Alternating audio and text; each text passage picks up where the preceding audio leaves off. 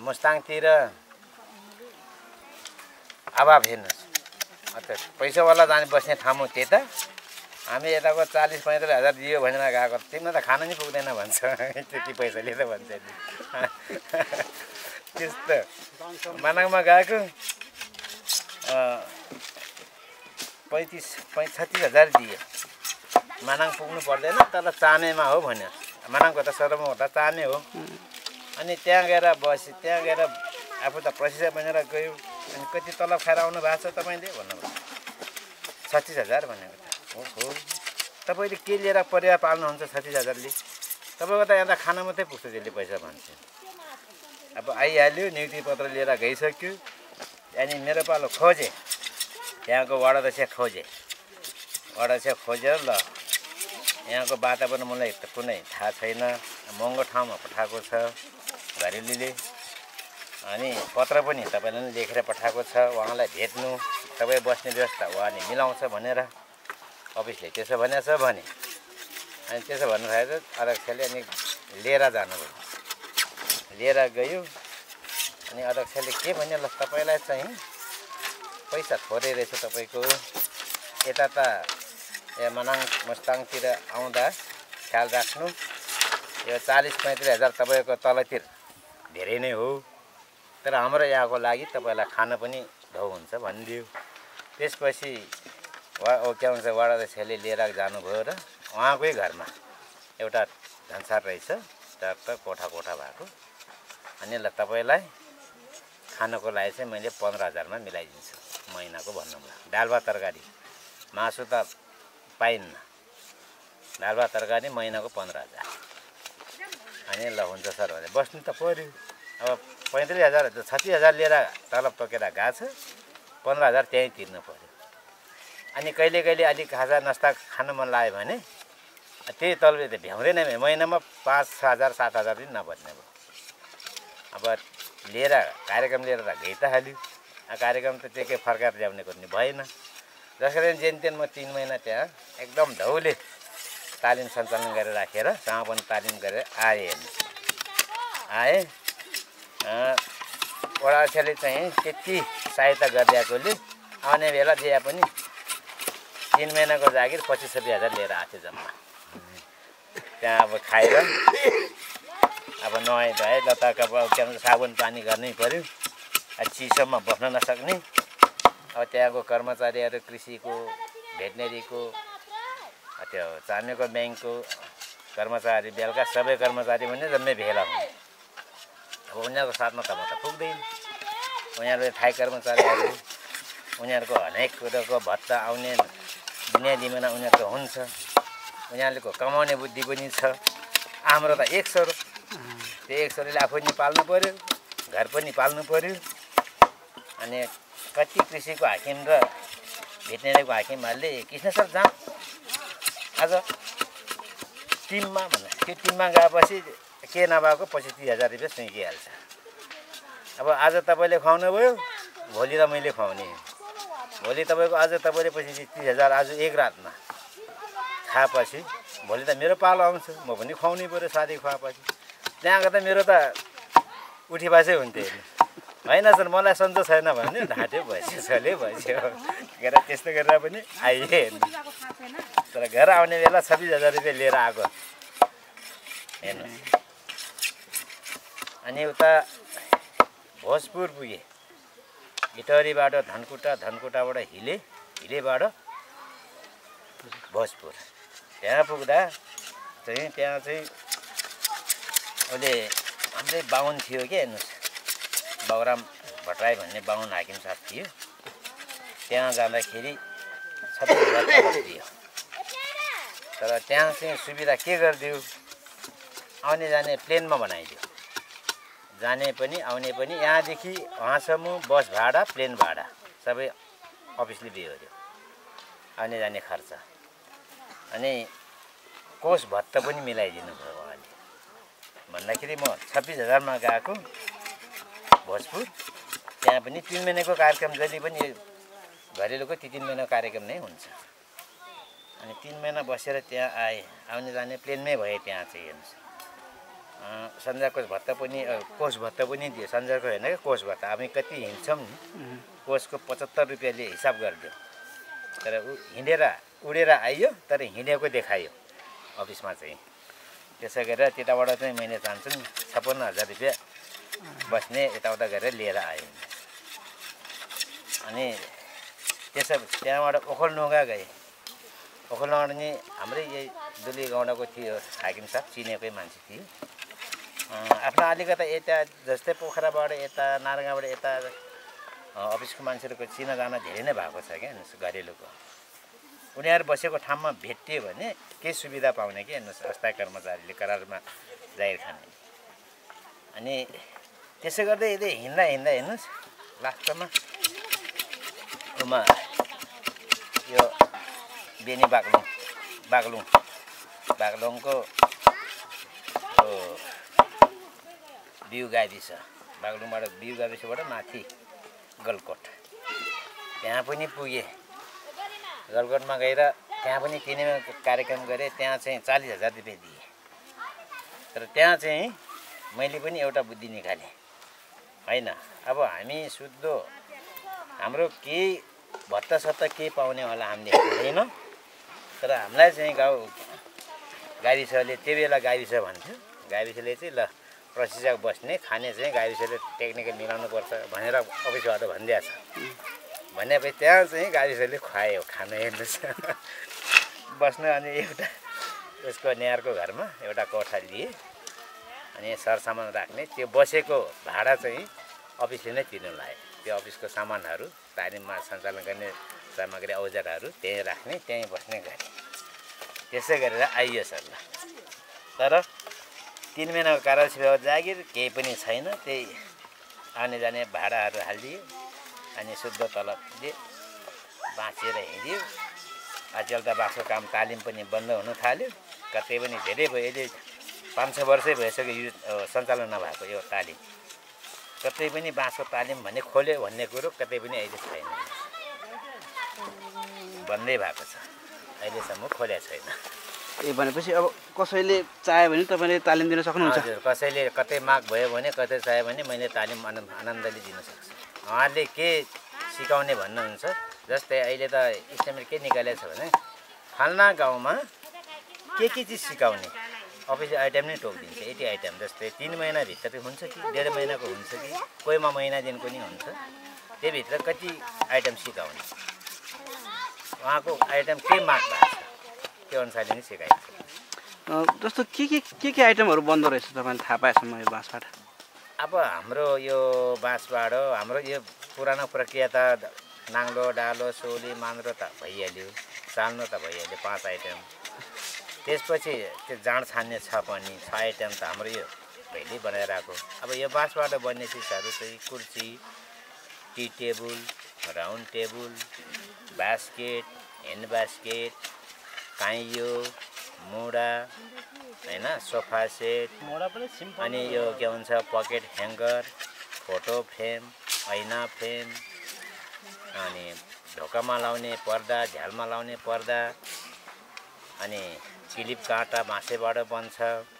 अब पैसा राख्ने पस बुन्यो भने बाँसेबाट पैसा राख्ने पस पनि बुनिन्छ। भन्दाखेरि हाम्रो यहाँ धेरै पच्चिस छत्तिस चालिस पैँतालिसवटा आइटमहरू हुन्छ हेर्नु त्योभन्दा अहिले फेरि बाहिरी बाहिरी हामी हिँड्दाखेरि सिङ्गापुरे बास्केट। त्यो बास्केटमा मलाई तालिमभित्र प्रशिक्षकले सिकाएको होइन त्यो। त्यो बास्केट बोक्दाखेरि ठ्याक्क सामान सर निकाल्ने। अब बजार जान्छु सामान किन्नु भने त्यो यसो बेह्रो खल्तीमा हाल्यो लग्यो ठिक्क पहिलाको यो उसले विदेशको लाउरे ल्याउने टेप हुन्छ नि हेर्नुहोस्। जापानिज टेप भन्थ्यो। हो त्यस्तै प्रकारको हुन्छ।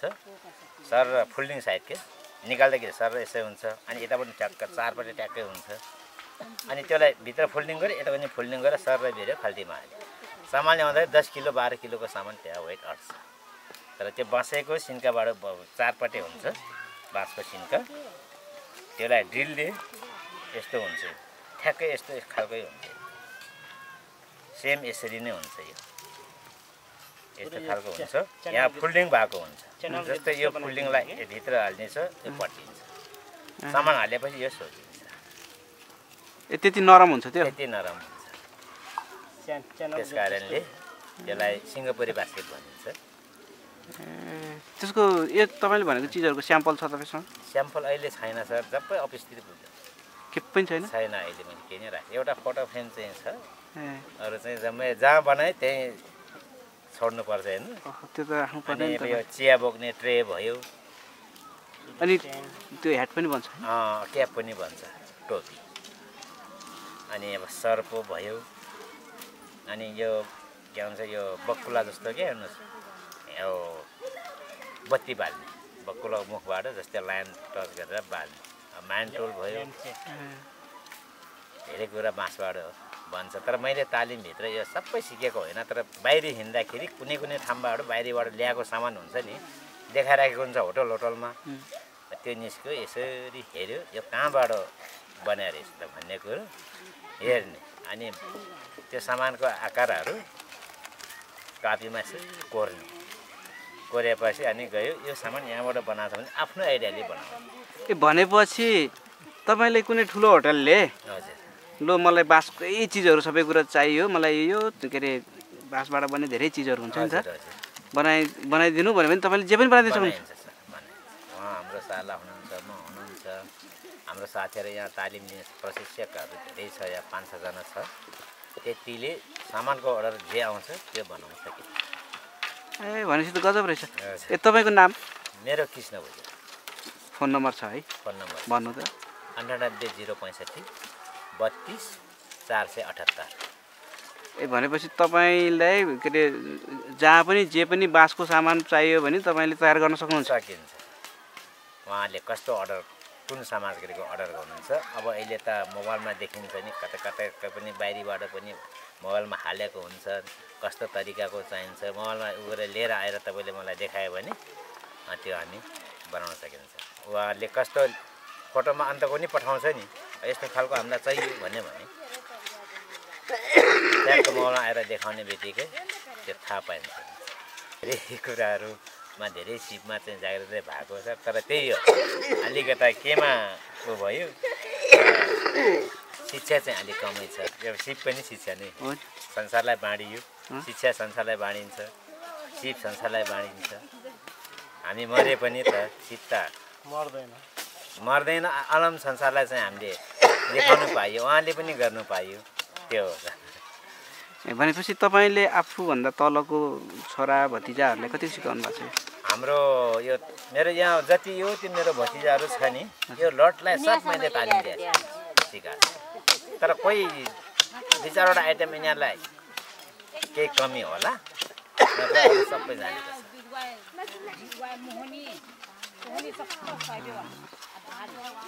तपाईँसँग भेटेर चाहिँ मैले धेरै कुराको जानकारी पाएँ है।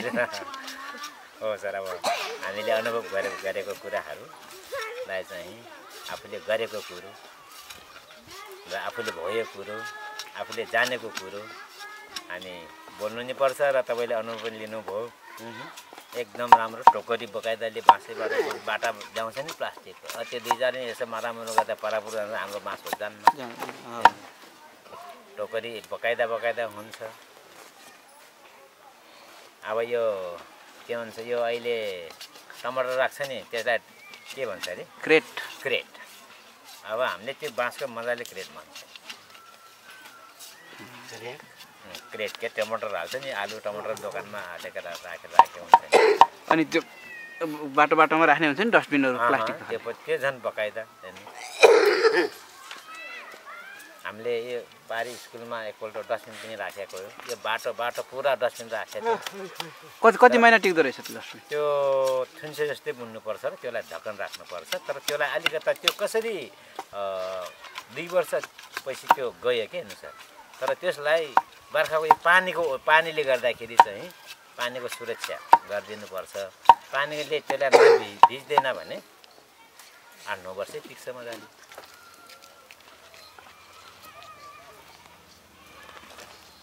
ए भनेपछि त तपाईँहरूले अनि यो आजभोलि त बाँसको घरहरू पनि बनाउँछ होइन? घर मन्दिर घर। त्यस्तो तपाईँहरू बनाउँछ बनाउनु बन्छ। तपाईँहरूले नि बनाउनुहुन्छ। बाँसको घर मन्दिरहरू मजाले बन्छ। र्याकहरू त झन् स्याम्पलै भइहाल्यो। कुर्सी टेबलै भयो होइन? अब फोल्डिङ खाटै बन्छ। फोल्डिङ खातै भन्छ फोल्डिङ खाटै बन्छ। फोल्डिङ खाट ठ्याक्क ओछ्याउँदाखेरि टाक्क खुट्टा टाक टाक निकालिदियो। खप्टाइदिने। अँ, अब यो त लामो छ भने यसलाई त पटाइदिन्छ क्या। यो बिचमा नट भएको हुन्छ फोल्डिङ ओछ्याउँदाखेरि खुट्टा चाहिँ त्यसको छवटा हुन्छ। यहाँ दुईवटा यहाँ दुईवटा यहाँ दुईवटा। खुट्टा पनि यता मोडेर पठाइदिने। खुट्टा यता मोडाइदिने यसको पनि पठाइदिने। यो पल्टिन्छ। हल्का पनि हल्का पनि जहाँ बोकेर हिँड्ने भनेपछि त्यो बाँसको त संसार रहेछ। एउटा संसारमा हामीलाई मेरो शिवशरण रेग्मी सरले भन्नुभएको थियो बाँसबाट सबै भोलो हुँदैन एउटा ढेकिरा होलो। कृष्णजी भनेर मलाई प्रशिक्षक सरले भन्नुभएको थियो कि। हुनु पनि हो ढेकी अलि वेट पुग्दैन। होलो पनि अलिकता ठुलो भएन। र तर होलो पनि आज हुनसक्छ त्यो बाँसको ठुल्ठुलो गाँस हुन्छ।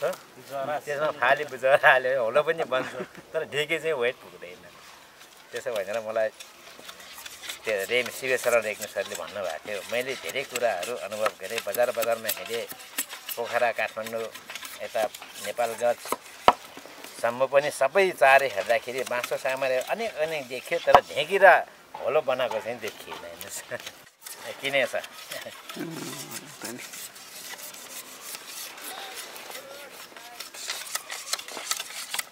हो यो सोच चाहिँ हामीले पहिल्यैदेखि सोचेको हेर्नुहोस्। तर हाम्रो हामीलाई के कमजोरी भयो भन्दाखेरि आर्थिकले नै अड्काएको आर्थिक नआएपछि हामीले आर्थिक कामहरू के पनि गर्न सक्छौँ आर्थिक कमजोरी भयो त्यसले गर्दाखेरि चाहिँ हामीले यो सम्पूर्ण कामहरू आँट्नु आँट नआएको कारण त्यही न पुरा नभएको हामीले। पैसा मात्रै भयो भने हुन्छ पैसा भएपछि लगानी गर्नु सक्नु पऱ्यो लगानीको आय आम्दानीहरू हिसाबहरू हामीले कन्ट्र्याक्ट राखेर काम गर्नुपर्छ। तर हामीसँग पैसै नभएको कारणले नै हो यो हामीले जति योजना बनाएकोहरू फ्लप खाएको होइन कति पैसा भयो भने हुन्छ? यो हामीले समथिङ यो काम गर्नुलाई हाम्रो चार पाँच मिल्नुपर्छ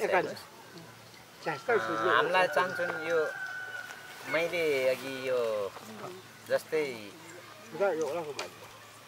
यो काम मैले सञ्चालन गर्नु पऱ्यो भने हामीलाई चाहन्छन् चारदेखि पाँच लाख रुपियाँको ऊ चाहिन्छ रकम चाहिन्छ हामीले एउटा बस्ने ठाउँ व्यवस्था बनाउनु पऱ्यो होइन अनि अरू कामदार पनि राखिदिनु पऱ्यो आफूले पनि गरिन्छ अरू सिप जान्नेलाई सबैलाई हात ल्याउनु पऱ्यो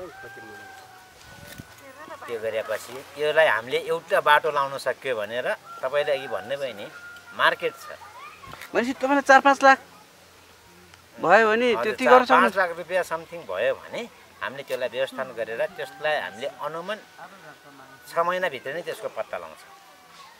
छ महिनाभित्र कसो भने हामीले एक महिना त त्यो टहर सहर बनाउनु पनि लाग्छ अनि मान्छेलाई यताउता राख्नु पऱ्यो काम जान्नेलाई राख्नु पऱ्यो ल्याउनु पऱ्यो अनि त्यसलाई आम्दानी आय आयव्यय कति हुन्छ? छ महिनाभित्र त्यसको हिसाब किताब गर्छौँ। अब आम्दानी कति? नाफा कति जस्तै पाँच लाख रुपियाँ हामीले गर्ने गऱ्यौँ। पाँचको हामीले के गर्न नसक्यो भने पाँच लाखको हामीले समथिङ आठ लाख रुपियाँ अथवा सात लाख रुपियाँ बन्नुपर्छ हामीले धुवानी सुहानी यताउता दिएर। अनि त्यसमा हाम्रो धुवानी कटाएर हाम्रो चान्सुन पाँच लाख रुपियाँ योजना गऱ्यो भने साढे डेढ लाख रुपियाँ हाम्रो बचत रहनुपर्छ।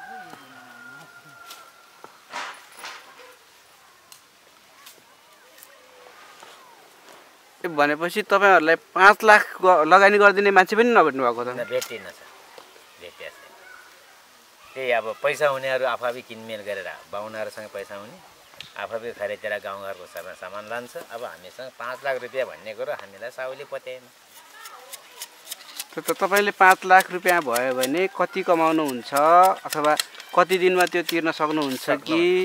अथवा के के छ तपाईँहरूको प्लान भन्नु त मलाई। त्यो हामीले यसो छ जस्तै पाँच लाख रुपियाँको हामीले योजना प्रक्रिया पहिला बनाउनु पऱ्यो होइन? बनाएर अब त्यो हामीले किस्ताबन्दी ल्याउने हो कि? किस्ताबन्दी तिर्ने हो कि? त्यसको जानकारी माथिबाट हुनुपर्छ। यति यतिमा तिर्नुपर्छ भन्ने हुन्छ नि जस्तै लगानी गर्ने व्यक्तिले यति रुपियाँ आउने भयो। अब अँ, त्यो कतिमा कति कतिमा तिर्ने भनेर हामीले सोधेपछि हामीले त्यसको जवाबदिहिता गर्नु पऱ्यो त। उहाँहरूले टोकिदिएला ल। पाँच लाख रुपियाँको तपाईँले किस्ताबन्दीमा महिनामा यति हजार तिर्नुपर्छ भन्छ कि? के रेकर्ड हुन्छ है त्यो त? त्यो त ऋण भयो भने कुरा। ऋणै भयो। ऋण भयो भनेको कुरा हो। होइन त्यो त्यो किस्ताबन्दी भन्दा नि त्यही त तपाईँले अब पाँच लाख रुपियाँले अड्काएर। पाँच लाख रुपियाँ भयो भने तपाईँहरू यो व्यवसायबाट हामी आत्मनिर्भर हुन सक्छौँ भन्ने भयो। होइन? हजुर। हाम्रो डोको चाहियो सबभन्दा त्यही न हेर्नुहोस् अँ, त्यति हामीले निर्वाह गर्न पाइयो भने हाम्रो खुट्टा टेक्ने काम हुन्छ हेर्नुहोस्। यहाँ त अहिले त खुट्टा टेक्ने पनि ठामै छैन हेर्नुहोस्। त्यसले गर्दाखेरि आफ्ना आफ्नो घरको जागिरमा दुःख गरिरहेको मात्रै हो। त्यो हेर्नु खास। यो- यो हामीले के भयो भने सर हाम्रो। व्यवसाय र हिक्मत नै अलग हुन्छ क्या यो हेर्नुहोस् याउ एउटा यो राकेट हो। ए। यो भन्दा यो ठुलो। यो- यो राकेट पनि बनाउन सकिन्छ। छैन त्यो उता लोड छ जानु पर्थ्यो नि। तर त्यसलाई कसैले कसैले अब यसको कस्तो यस्तो कस्तो यस्तो धान्ने हो तपाईँको हातमा पनि बस्छ। आउनुभयो यहाँ? आयो? अँ, अँ। ग्राभिटी ब्यालेन्स सिप भनेको यस्तो। तपाईँको औँलामा यसो ठाडे आउनुहोस् त त्यो त्यो लोड छ नि त्यता ढाली जानुपर्ने तर ढल्दैन यो।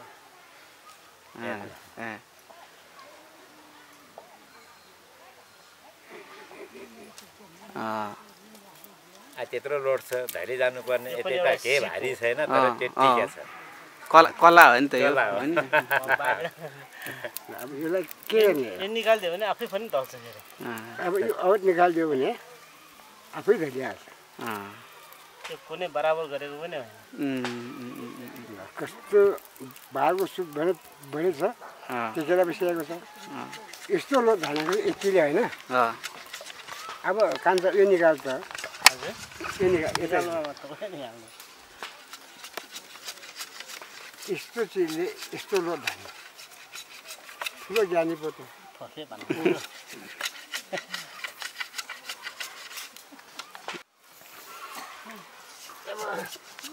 चोराको गरेका यस्तो हुन्छ। त्यो नै धान्यो अहिले त्यो निकाल्नु त्यो निकालिदिउँ त्यसै आफै उम्, बिना बिना भा भारीको यो त्यो। होइन त्यो हुनै हुन्न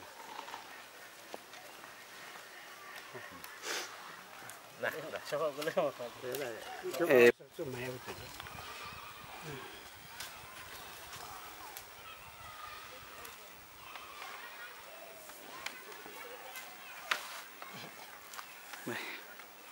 ल अब त्यो भारी निकाल त्यसै थाहा हुन्छ। यता अब यो निकालिदिएपछि त यता बस्दैन। यो कहाँ बस्छ? यो लडिहाल्छ। होइन? बिना भारीको बस्दै हो यो भारी। सबै कस्तो धाने